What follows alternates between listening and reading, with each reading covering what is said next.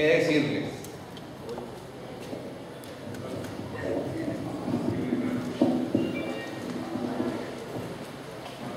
aquí no puedo hablar en esta condición circunstancial de ministro del gobierno bolivariano porque sencillamente no me sale. Estar al lado de, de Jerónimo es como estar al lado del viejo Cruz. Para nosotros, que aquí sí puedo hablar en nombre de la familia Villegas, Jerónimo, compadre. Nos quiso y lo, y lo quisimos y lo seguimos queriendo y lo seguiremos queriendo como un padre, nuestro padre Jerónimo Carrera. Lo lloramos hoy con la misma transparencia con que lo disfrutamos en vida. Porque Jerónimo era uno de esos seres para disfrutar.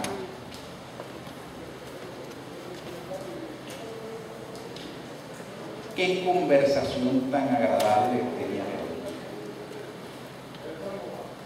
Sobre los temas más complejos y los temas más sencillos.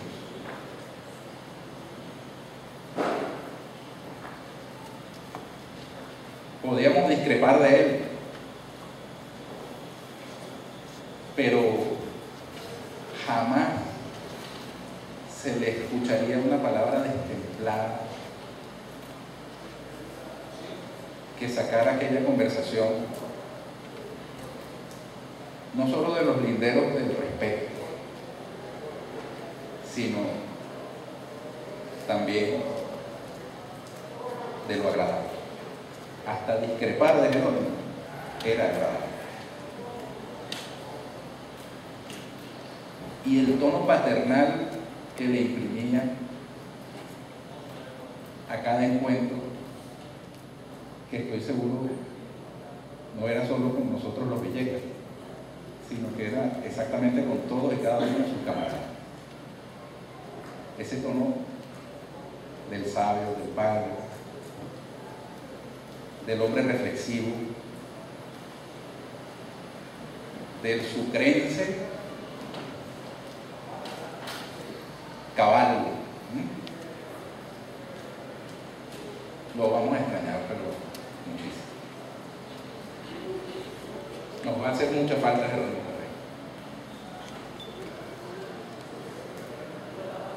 En los últimos tiempos, la prensa lo buscaba para encontrarle la, la lengua y el filón antichavista, para tratar de crear un ruido, una confrontación. Y aquellos que se dejaron llevar por esos titulares o esos extractos con pinzas de alguna expresión, realmente no conocieron a Jerónimo. Jerónimo era un gigante. Un hombre que para siquiera osar a descalificarle, habría que enjuagarse la boca creolina. Ser un hombre blindado contra los insultos desde una gigantesca sencillez. Una sencillez que es un ejemplo para todas y para todos nosotros. Ojalá nosotros podamos llegar a la edad que llegó Jerónimo con la frente en alto, con esa sencillez, acompañada de esa inmensa erudición y además con el sentido internacionalista que siempre lo caracterizó. Un hombre que sintió suyas las luchas del pueblo palestino, de los revolucionarios puertorriqueños, de los independentistas puertorriqueños, de los revolucionarios colombianos, del pueblo soviético. No había una lucha por la emancipación, el socialismo en el mundo con la cual Jerónimo no fuese solidario. Habría que hacer un estudio de la obra de Jerónimo, para a un retrato de lo que fue la política internacional del siglo XX. Y de esta parte del siglo XXI que apenas está comenzando. Quiero agradecerles por este privilegio de hablar desde este lugar. Hablé por teléfono con Jerónimo hace unos días Angelina, sería cuando hace dos, tres, no sé, cuatro días, cinco días, en esta vorágine en la que andamos ahora con el gobierno de calle pierdo los tiempos. Siete días. Lamento no haberlo podido visitar. Ahí están sus hijos, Hernán, Alba. Obligados como estamos nosotros, los hijos de Cruz Villegas, a llevar con ese peso gigantesco del nombre del Padre, con orgullo, y saber que aunque nos criemos y crezcamos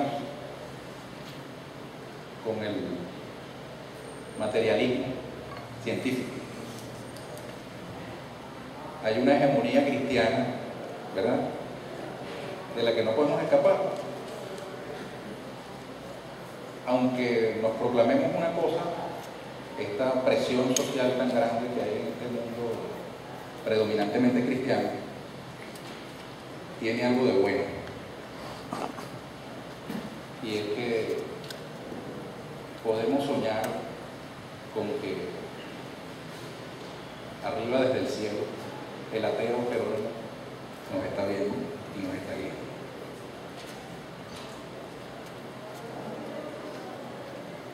Por eso los creyentes tienen una ventaja sobre los no creyentes. Los no creyentes están expuestos al desvalimiento frente a la muerte. Los creyentes tienen el aliciente de que su ser querido, su ser amado o ellos mismos pues pasan otro plano.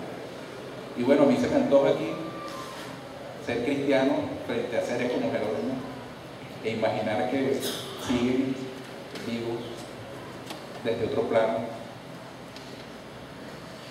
para acompañarnos en este mundo tan difícil que nos corresponde vivir, sobre todo si queremos hacer la revolución y luchar por esos seres. Sería más fácil, ¿verdad? Si no, nos planteáramos esas utopías. Pero aquí estamos. Y la contribución de seres gigantes como Jerónimo es fundamental para guiar nuestros pasos. Esas observaciones que Jerónimo hizo